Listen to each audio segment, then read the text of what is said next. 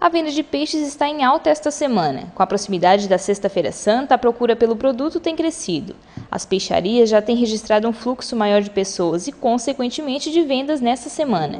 Entre os variados peixes, a preferida continua sendo a tainha, o que hoje está sendo comercializada a R$ 5,99 o quilo, um preço que também atrai os consumidores. A tainha safra desse ano já está começando mais cedo, eu tenho ela hoje a R$ 5,99 o quilo que é um preço realmente baixo. Ela baixou quase 80% do verão para cá. Mas entre preços, dependendo do peixe, o valor varia. Hoje eles ainda podem ser encontrados no valor de R$ 3,50 a até 40 reais o quilo.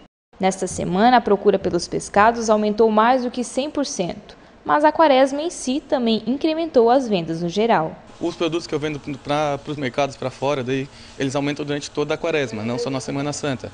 São pedidos antecipados já, aumenta bastante.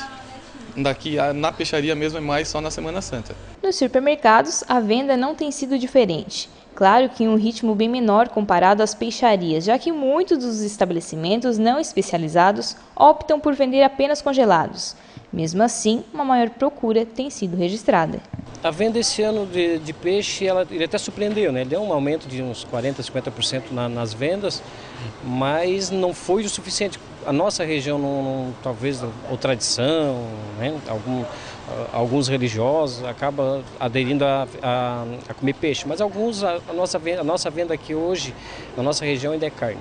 Para quem segue o costume, o peixe ainda está em alta. Os estabelecimentos têm reforçado os estoques para suprir a demanda de consumidores que devem intensificar a procura nesta quinta-feira.